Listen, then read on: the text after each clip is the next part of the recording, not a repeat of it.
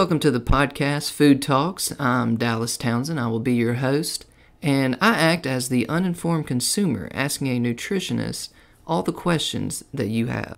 Hello, I'm Jordan Townsend. I'm our resident nutritionist here at Naturally You, and I'm here to inform the uninformed consumer, answering and helping to unpack some of your more difficult nutrition questions. Alrighty, everybody, welcome back. On this week, we're going to go ahead and finish up the Q&A part that we started last week. We still have about 15 questions roughly left, Kelcie. We have a good bit, and I'm so excited to get back on here um, to do the next set of questions with everyone. So, yeah. So, yeah, similar as last time, we're going to kind of just go through these. We, we have them sort of broken up into groups, for, for lack of a better word for it. Uh, but from there, we're going to kind of just try to expand on them and go into as much depth as we possibly can. And again, we're going to hopefully, because I, I think we had a pretty good turnout this time. Maybe in another six months or so, we'll do another Q and A type episode like this. Because again, that's what this podcast is for. Just answer y'all's questions. So whatever y'all want to know is what I want to talk about. So where did you want to start today, Miss Kelcie? So let's start. And also, if you got more questions, we know a lot of people didn't get their questions in. And so if you got more questions, that'll be a perfect time we can do part three. And so we're going to start off with just the basic things about us as well. A client wants to know how often should they be tested using what we do here in NRT? Is it daily, weekly, monthly, yearly? Like, what does that look like for our average client here at Naturally You? So yeah, the the main thing we're trying to do usually is we want to again, we want to test you a lot at first. So when you initially come in as a client, the main reason we're testing you way more often in the beginning is because we're trying to dig through these layers and address them, the organs and things, as, as quickly as possible. So generally when people first come in, we see them every week, maybe every two weeks. But long term, especially if you've been a client over six months. More time between testing you and checking you is better because we want to give that nutrition and, more importantly, the changes in diet and stuff that you've made time to actually sort of sink in and take hold. Now, should something come up acutely, you can always call us and come in and get checked immediately right then for that issue. But eventually, at least probably every month at the most often, and then ideally every three to four months after that.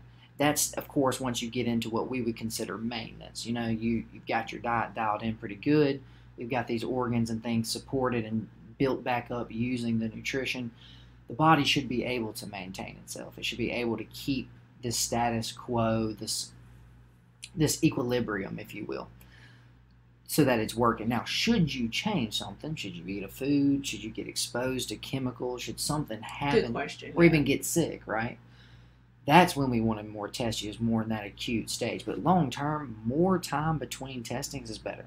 That's what I've always found. The more time I give your body to actually let something change, that's when I want to actually look into it. how often does it take for all that change to happen? Like, how many? So for us, we usually change. say the, the baseline is 90 to 120 Okay. days. Now, that's not from necessarily even the visit to visit at first, but that's for the full cell cycle to take place. And that's red blood cell cycle we're using there specifically. Uh, so, yeah, that's why ultimately, even testing you at first every two or three weeks, that's still not even a drop in the bucket as far as the full 90 to 120 days goes. So that's why I say long term, especially more time between them is better, and that's why that's how we actually end up scheduling and staggering our program here. Is eventually I don't want to see if I can if, if I can help it, right? Because if you're feeling good and you're at the weight you want to be, and you're not having headaches and you're not dealing with all these issues anymore, go be well. That's why I say we're kind, happy. we're kind of different than the doctor in that sense of once you get better, once I teach you how to fish, go fish. I don't want you to have to stay keep coming back to see me every single time something crazy goes on or happens.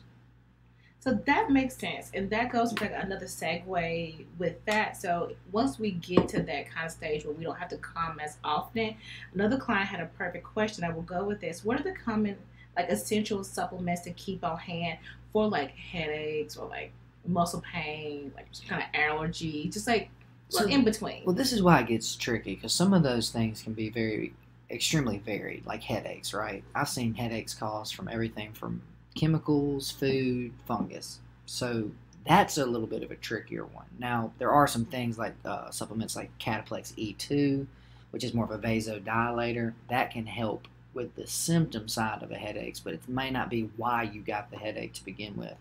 Same thing, we have a supplement called Turmeric Forte. It's a turmeric mixed with some other different stuff, but that one helps downregulate inflammation, which can help with pain. But okay. that's the two always joke the two hardest things for nutrition to help deal with is pain and sleep. Those are just two that are very tricky to actually get dealt with because there's not an anti-pain supplement. There's not a there's not a nutritional or herb that blocks your body from receiving pain signals. Kind of how Advil and opiates work. Whereas same with sleep, there can be a lot of sleep is such a multi-mechanism action for humans that is very rarely is oh you just take this and you'll start sleeping. Well no there could be a lack of melatonin production. There could be other hormonal issues preventing your body from making enough of that. Mhm. it could also just be stress in general which is more hormone stuff keeping you from sleeping. So as far as any of those things go we would always want to test you. I would want to just see because again even for headaches right? Even for let's just say congestion. Well i normally or even allergies right? I would say you know we have two supplements antronex and Aller, allerplex those are usually good things for that. But we have a bunch of stuff for drainage. We have a bunch of stuff for uh, allergy type responses, hives, or any of that type of stuff. So that's where we actually come in and the rubber meets the road. I would want to just see of all the stuff I sell, which one do you actually need? Because remember, I could make more money just selling you random bottles Mhm. that's what your doctor already does. That's why people come to us instead of a doctor, though, is they want more specific to their body individually. What is what are they? What is their body asking for? There's no guesswork in this whole thing that we do here. And that's all I would want to say is, yeah, I can say if you have this in your pantry, try it, but don't be surprised if it works half the time and it doesn't work half the time. Whereas if you come in and your body says, hey, I'm looking for Muplex specifically and garlic specifically, it knocks that stuff out a lot quicker. So I hope that kind of answers what you were saying. That that really does um, answer a lot. And so going back to more what we do here at Naturally You, when we when you are using like NRT, a lot of clients. And just even- that nutrition response testing, Yes. just just for people who might not know. yes, sorry about that. No, you're good. Um, we have clients who do come and still get confused on like what is block mean and what is switch mean. So, So you're just more wondering about. yes, those can you, terms. yes, can you explain that to Well, them? those are trade secrets, Kelcie. You know, I can't be guided. no, so what she's talking about is the main thing we do is we do like a, a form of reflexology with the different organ systems, right? We go and test against lungs, we test against hearts, kidneys, and all that. But what she's referring to are what we call our two macro levels. The first one being blocked, and the first and the second one being switched. Now, the interesting thing to me about block and switch is we didn't come up with those terms. Also, Ulan Nutritional Systems, where we learned all this stuff, they didn't come up with them. There's a there's a test called a heart rate variability, and these are actually getting more common. And have, you, have heard of these Whoop, Whoop strap bands and I've things? heard of those kind of things. Whoop Yeah. is just one of them, but they're they're basically a Fitbit type company, whereas they're it's a wearable thing, but they actually have heart rate variability built into theirs. So theirs actually measures your heart rate variability while you're sleeping and stuff. Oh, that's cool. And the reason they have been uh, uh, the original reason a heart rate variability test was invented was sort of a form of physical fitness. Now, this is the story that I was told. I can't validate it 100%, but it was actually invented in in Cold War Russia. Because over there, what they would do is, let's say you have 10 people that you want to be runners. Well, if you give them all a heart rate variability, it will sort of it will show you essentially how adaptable that body is. So if I'm going to spend $100,000 on each of these people and I do a heart rate variability on them, it can tell me, hey, these five have a lower adaptability. Their ability to recover, their their peak physical fitness is not going to even be as high as these other five. So if you're looking as far as a resource thing, you can almost double your efficiency by cutting out those five people who, instead of spending 12 years on training them, nutrition, all this stuff, let's just focus on the five who not only have the same physical attributes, but their ability to adapt and more importantly, their ability to overcome and improve in these To stressful heal. things. Okay. Yeah, more important, or again, how adaptable are they? Because again, if you overload some people, they, they get injuries. You know, they they're gonna. That's that's what it's kind of using to predict is, hey, how much more likely to getting hurt, to getting injured? What is what is the peak this person can reach? Well, this person's peak is only seventy five percent. Well, this person's peak is ninety five. So let's take him because we got another twenty percent peak performance we can reach with this person just based on how their body is reacting. and it does that by marrying by measuring the variables in your heart rate. That's why when we do our heart rate variability, half of it is supine, laying down, relaxing. Half of it's upstanding, and it measures the difference and the changes in those. That's why it's called heart rate variability. The changes of that heart rate depending on what you're doing and where and what you, and where you're at. So that's what's kind of interesting about it more than anything. Is it also a lot of it takes into sleep into account and a lot of other different stuff. So that was what they were using it for was, hey, let's not waste $500,000 training these five people when their ceiling is only 65%.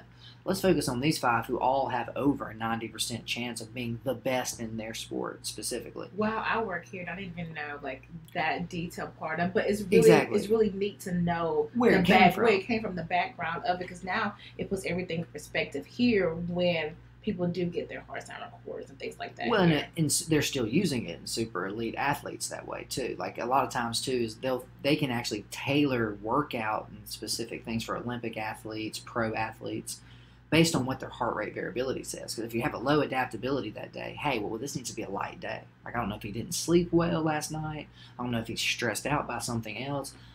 Or maybe he just didn't get the right nutrition, didn't wasn't able to recover as much. I need that machine every day when I plan my work. No, so seriously. So instead of trying to push you hard because it's Tuesday, let's do a lighter day today. Will we do the HRV tomorrow? Oh, well, hey, you're back over 90% again. Hey, look, time to go back hard again.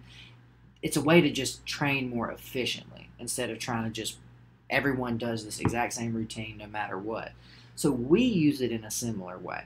The way we use it to is we just establish a baseline with basically how hard is your body working. That's what we use it for what is your stress level as a just average American person? That's why some people come in, they got great HRV scores.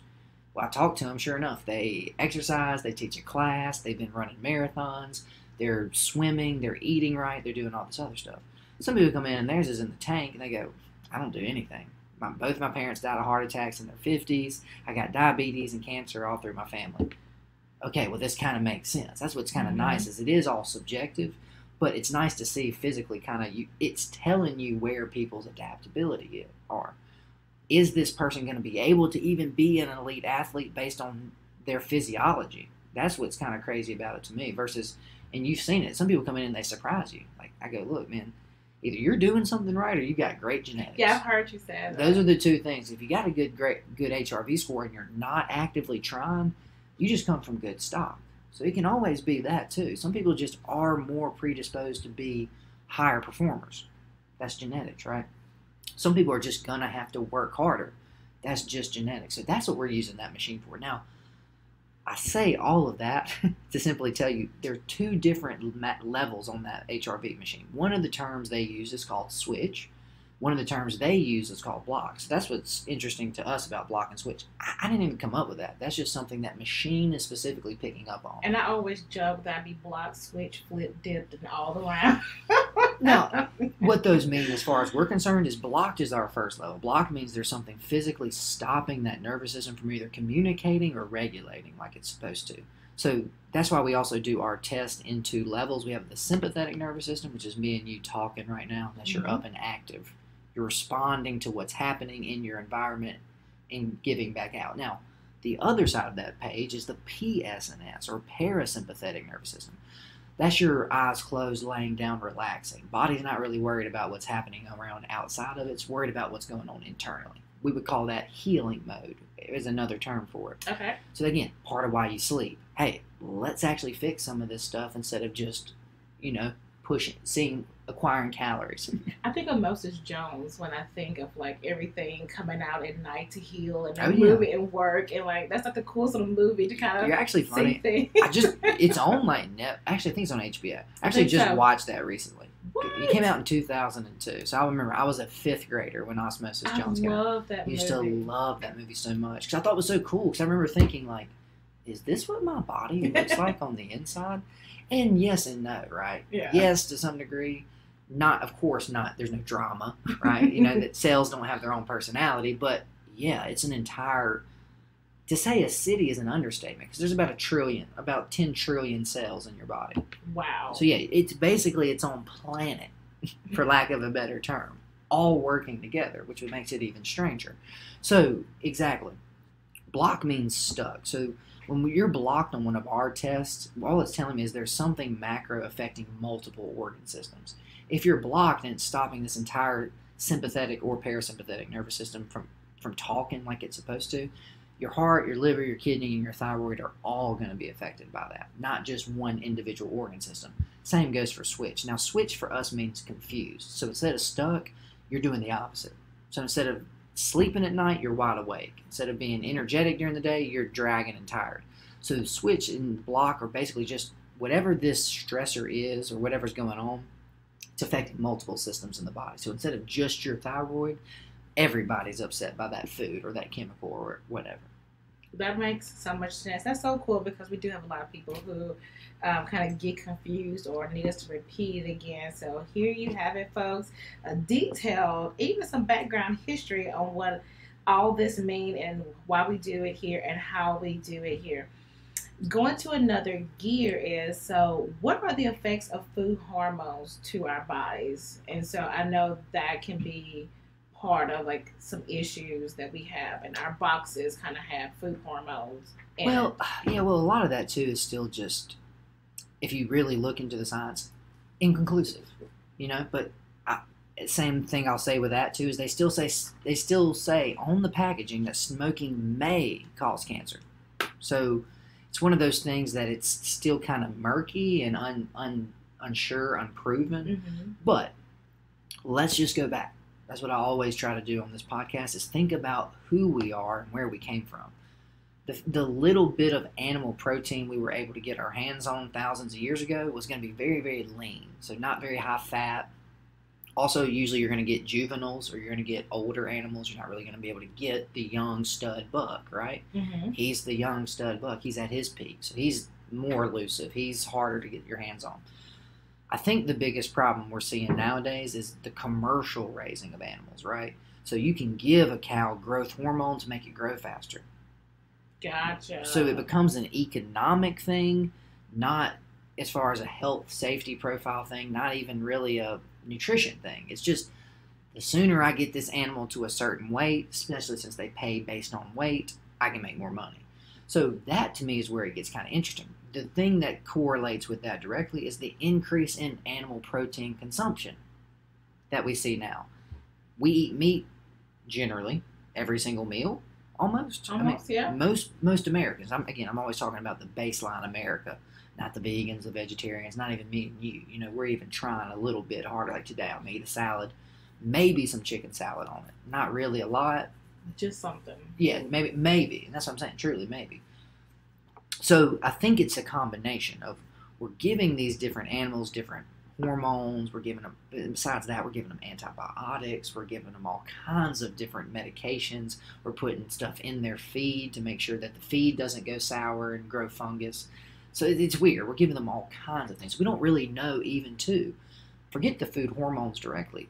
Does, does feeding cows antifungals and antibiotics does that affect their hormone level? Oh, I didn't it could- think about that. it actually could raise things like their cortisol. You know what I mean? It could make them more stressed, which could actually make them gain more fat, which could actually affect their hormones negatively.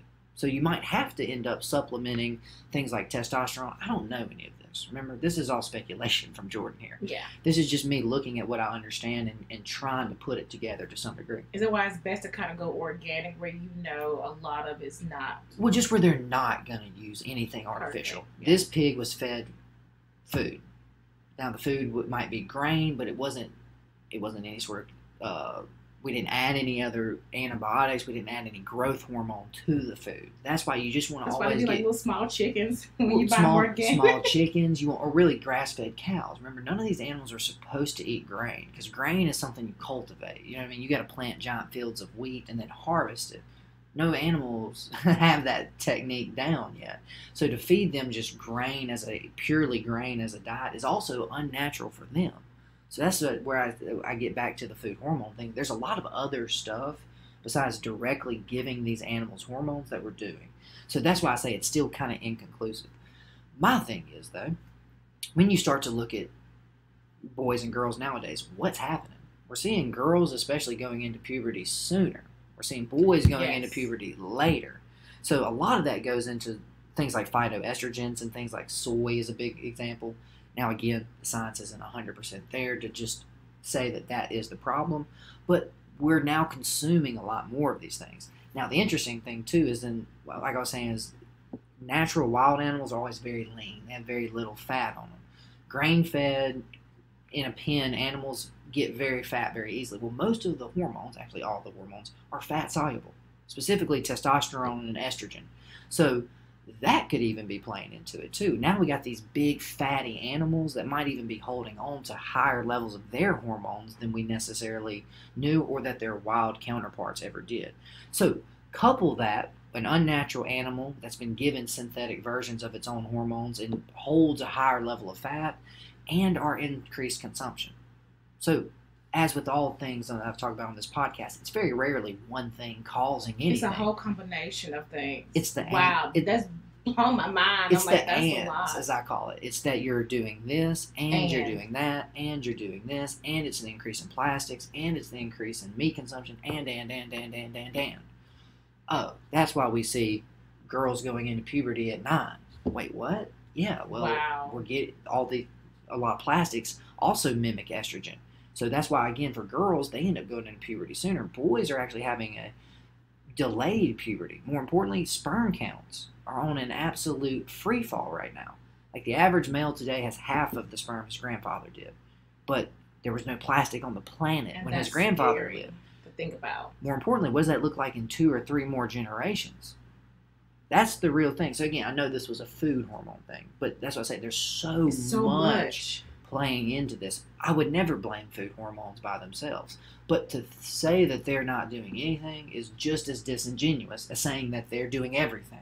So again, that's why I say most of the time you're going to find that middle ground, and more, most importantly, it's a pillar. It's part of what's going on with this food. It's part of this whole big pie that we've got ourselves here in 2021. Makes So- sense. I hope that yeah, I'm saying I hope that kind of made sense on what you're asking. Yeah, that makes sense. And I'm going to segue into No, something please. else because you were talking about cortisol and how you know it can you know make them fat. So The I- stress hormone. Yes. So a client had a question. It's like, how do you keep your cortisol levels under control? And like, when you don't keep them under control, what is like what happens? Yeah. So can you move to a private island?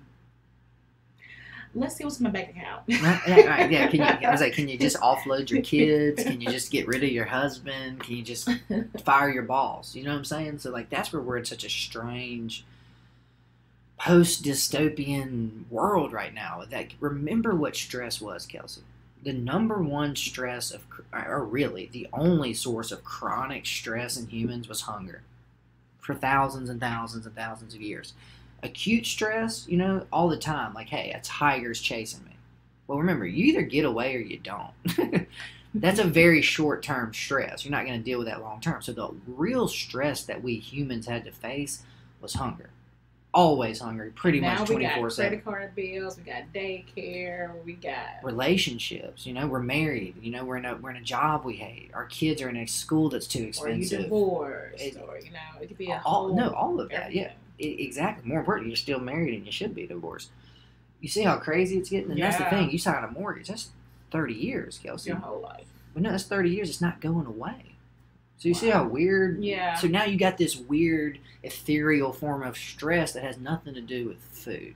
But the problem is, the same ancient signals are being sent. Hey, your cortisol has been elevated for three months. So your body starts. That's what's weird about cortisol. Cortisol specifically, first thing it does is make you hungry. Because if you find anything edible, eat it Some people stress eat when they're the flip happens too. When you're when you have elevated cortisol levels, your body actually tries to store belly fat specifically. So it's trying to actually store things as fat and slow down your fat burning. So it's trying to do everything it can not it's to working use your. against you. Oh my gosh. It thinks you're starving. So see how weird of a sentence that was. It's not working against you. Cortisol is working as it's been instructed to for the past 12 millennia. Only in the last hundred years is this a problem. So that so you see again, that's what's going on with us right now. A lot of the human condition, we're not built for this. we're built to be hunters and gatherers who acquire calories and reproduce. That's it. That's where that's where the buck ends. Now we've added ninety nine thousand wow. new things as far as society and your clothes and your job and your stature. All this weird stuff. Facebook, Instagram. I mean, Well, you got you got to have this, or you're not cool. If you're not traveling here, you're you're a loser. It's like, wait, whoa, what, what, what, what? Right? So exactly, that's the problem. Is this meat computer was not built to handle all of these problems, especially not chronically. You know, you can look at something and want it, either get it or you don't, and you move on. Well, social media keeps it right in front of your face, 24/7, 365. Every single day that you don't have it, you're reminded you don't have it. You're reminded you don't have it. You're reminded you don't have it. You're reminded, and then you don't know why you're stressed. or you just Really, you yeah. don't. I mean, you have no clues. I think of the movie Ice Age. You remember? Have you ever seen I that? love Ice Age. At least the first one. I've seen the first one. I've seen them, but it throws me back into that where you know you see the man like all they were worried about was like the big saber tooth tiger. Yeah, we might or get like, killed. or getting that acorn, you know, like Right, this girl, you Well, know, again, that's all they If worry I don't about. save this acorn, I might starve in the winter. And I have a family, and that really, as far as that, they were good. Fish, I mean, it was just simple, but like that was the only pre-stress. Well, it's a lo- again. It's not easier, but it's simpler when your your stress is acquire calories, acquire clean water, acquire acquire shelter, protect your family. and reproduce. Yeah, that's yeah. That's your that's your little five main pillars of human existence, right? Now we don't have the right shirt, and we're self conscious and anxious, you know. Or that person is my friend and his family are going on this trip, and they're doing this, and they just bought this house, and it's like you see what I'm saying? We've just Mhm. added all of this against the ands. We've added all this unnecessary stress. Well, our bodies. This is what's weird. Stress is not we think of it as this ethereal thing, right, that you can't touch. But if I stab you, your body's going to make cortisol. That's stress. If you're cut, if you're injured, if you're hurt, stress. If you're exercising, stress. So Oh. if you're not sleeping, stress. So again, the body, the problem with the body a lot of times is it doesn't have different stress hormones for different things. If you're under stress, I make cortisol. Oh my gosh, can you? I can imagine just being stressed all the time, Yeah, you- and you're you- working out being stressed. I Well, mean, you've seen some of our clients. Yeah, I see myself. It's just their jobs a lot of times too, right? Or their family and their kids. These things you and I, I, I reference those because I'm not telling you to quit your job. Can't get can't get rid of your kids. You, you shouldn't you shouldn't divorce your wife if you're happy or your husband. All I'm saying is though those things are playing into your health because this is what's weird. Just because it's this ethereal thing you can't put your hands on physically, your adrenals are making cortisol. Your body is then responding and changing the way you feel. It's changing the way you burn calories. It's changing your cravings based on this outside thing. So that's what's weird. I always joke. Remember, stress is the sixth stressor. It's the one we can't test for, but it's wreaking just as much havoc as foods and chemicals and all that other stuff is too. So that's where it gets even trickier. is it also like so then your organs get stressed too when Oh, they all that- respond. They respond. Everybody responds. Heart rate. Okay, okay, that makes sense. More importantly, other organs. Because if you're stressed, think about if you're starving to death, right? hmm It's, it's thousands of years ago. You know what your body's not really worried about? Ovulation. Uh, she hasn't eaten in six months. I don't really care if she gets pregnant right That's now. how it affects girls' periods. Well, estrogen, yeah, right. Okay. A lot of times too. Perfect, Well, okay. even you probably know this. One of the main things that happens to girls with eating disorders and stuff is they'll stop cycling. That is true. But that's more of a nutrition thing too. But Mhm. also, same thing for men. If I haven't eaten in six months, my sperm count's going to drop. My body goes, look, testosterone is so far down our list right now. Actually, I'm putting all of my resources into cortisol. Same thing happens to us when we eat too much sugar. If you're eating all this sugar and carbs, your body goes, hey, all my energy and all my resources are going into insulin production because your body is an acute machine. Like I said earlier, if I stab you, Kelcie, the only thing your body cares about right now is there is a hole in the wall. It'll actually stop digestion. It'll actually freeze a lot of these other things, hormone production, all that will stop. Ladies, there's a hole in the wall. if Wow, we don't start is if we don't start patching that hole, nothing else matters, right? So That that's what's so weird too. Is we, as conscious humans, remember, we're the ones planning for the future. We're thinking down the road and saving and retirement and all that stuff. Your body goes, there's a hole in the wall. If you don't patch that hole, nothing else matters anyway. So that's what's weird. That's when you gotta you gotta remember too. There's the conscious human you and there's the animal you. They're both in there making decisions.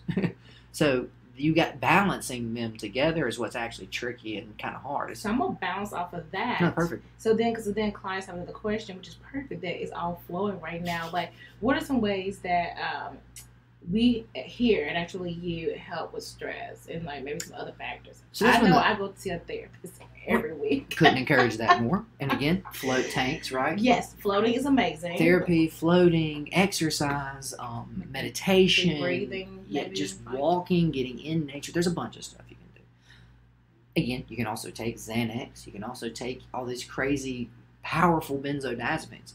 What we do though, same thing, is we want to first identify what organ. Is it actually the adrenals or is it more the front brain? 'Cause that that prefrontal cortex, that's your emotional processing center. That's where you're actually. That's where humans get their emotional center from. Remember, most animals don't have a large prefrontal cortex because they don't have this emotional depth that we do and this ability to deal with these problems like we do. So once we figure out which one, then we check things like different supplements. Valerian's one that we'll test on people. We even have supplements like Mintran and things like that, which are more mineral blends to help just chill the body out, down regulate it. Because that's what I took. I can't get rid of your stress, but I can uh, help and allow your body's adaptability to deal with stress to improve so that it rolls off your shoulder instead of being the thing that breaks you down and Mhm. causes the panic attack, as I would call it. Because again, think about what a panic attack is. Panic attack is literally your brain. Because we forget the brain's an organ, right? We can have a heart attack. You know, what I mean, your liver can actually stop and fail. Your pancreas, your colon can actually physically stop doing their job. A panic attack is when the brain le- reaches a pit, a level of stress and overwhelmed where it checks out. Whoa, didn't even think of it. It literally goes, like that. "Good luck. I'm not gonna. I'm not helping anymore. I'm gonna take five. So you're gonna be just frozen, holding your steering wheel in traffic and not moving.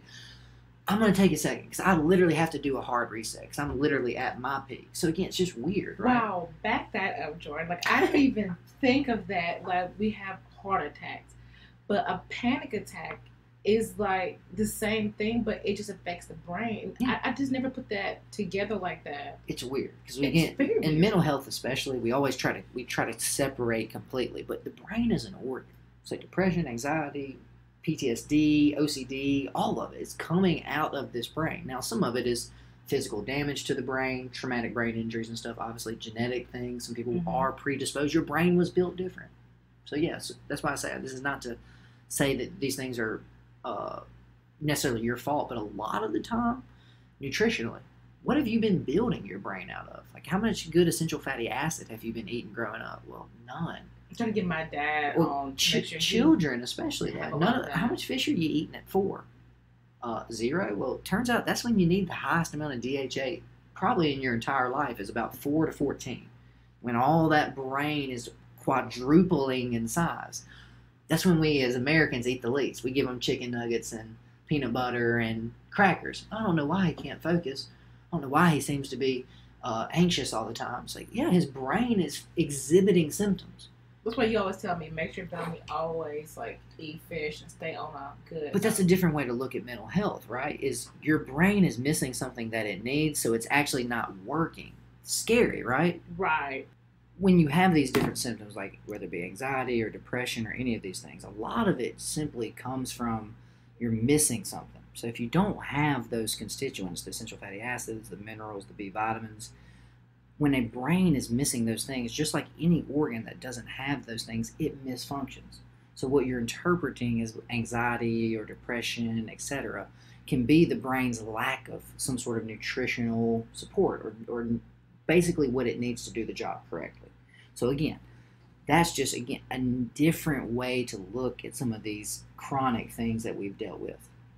So what else you got for me there, Kels? Since we're talking about that, you know, missing certain things, what are the signs that you are like does the clients have? Like what are you like when you're low on vitamin D or if you're low on some of your B vitamins, what does that look like? Um, you won't really. It just depends. They're all super specific. I mean, case in point, for more than anything, would be uh, like vitamin C. Right? If you don't have enough vitamin C, you actually get what we call scurvy. It's when your gums start to bleed and all that stuff. The B vitamins, different ones. Like, I mean, some of them you'll like start to have like sores and stuff show up, but you're going to be getting enough B vitamins not to go into disease state. Same thing with vitamin D. You're not really going to necessarily notice anything. Maybe low energy, reduced immune function. That's actually a big one for vitamin D. Is if you start getting sick a lot.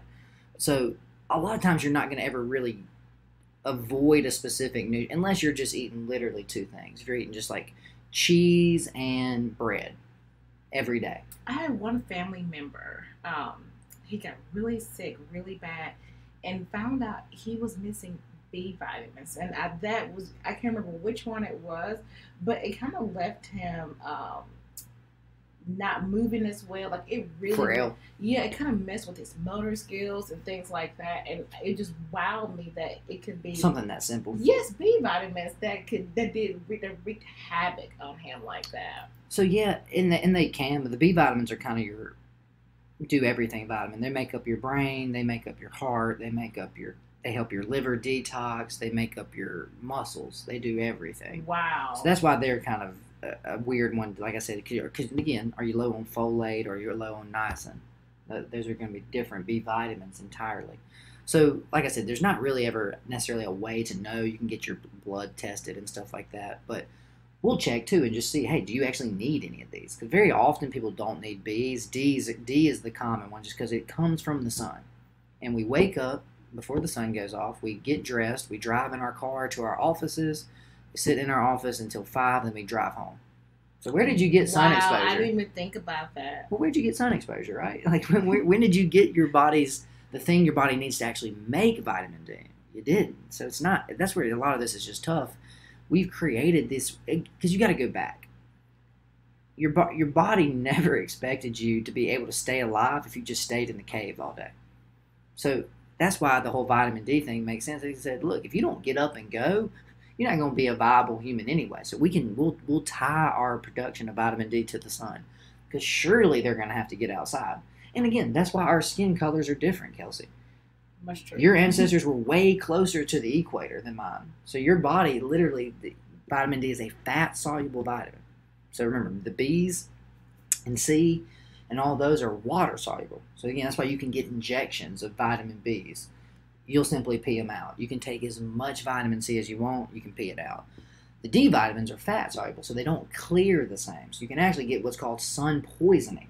Whoa. Yeah, they think that's actually overproduction of vitamin D. So your body and your genes actually developed a protective layer to, prevent, to keep you from overproducing vitamin D.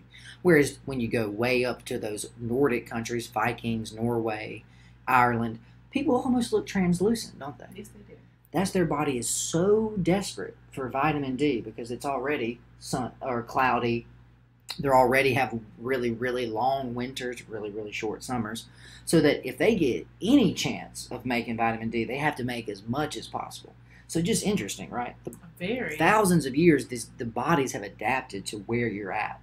That's the only reason our our skin colors are different. My body needed to make as much as possible. Yours was making too much. So weird, right? Just That's weird. Because then I know that um, I, I had a vitamin D deficiency, and I'm like, how? You know? most African Americans I was do. like, how? And they, you know, they think that contribute to a lot of like my hair loss because like autoimmune and things like that because I didn't have enough vitamin D.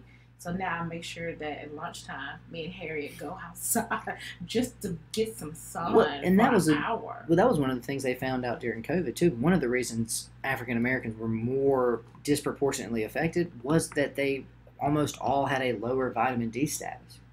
So it wasn't even necessarily economics and stuff like that, lack of access to healthcare. It was your immune system is not as functionable because you don't have enough of the thing that helps make your immune system go. So weird. That is very weird. And the, vitamin D is also strange, is even though it's a vitamin, it acts way more like a hormone because it's fat soluble, but it also bounces between different organs and systems doing different jobs all over the place. So yeah, again, the machine we live in is very complicated. That's what these podcasts pretty much always come back to. We want to make it Very simple, complicated. but they're not simple. Because that makes so much sense about I think what contributed to my hair loss because they told me then you know I had very low vitamin D and I was just like I was in band I was in things I thought I was in the sun make barbecue and so you know that is something I know I had a cool I had a question about because you know obviously if you haven't met me here in the office I am African American and I have a bald head And she rocks it, guys. And I rock she, it. She looks great. I rock Don't let her. Don't let her fool you. Well, let's see. I think we have wrapped up all our questions. And if you have any more questions, we would love to do a part three. These are very fun and it's very um, cool to like see what y'all have questions about, what y'all think about. You know, I agree with you too because I, I I just like using the instead of me and Dallas coming up with topics. I like just answering y'all out of the horse's mouth. Right.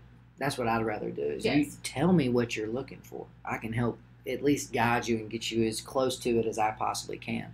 So yeah, we'll like I said, maybe in another three or four months, maybe even six months, we'll we'll slowly build up our catalog again and do another one of these. Because again, it's just easy to get in directly and talk a little bit about a lot of subjects instead of just a huge deep dive into one specific subject. That is true. And also, don't forget, we are in our giveaway for the month of July.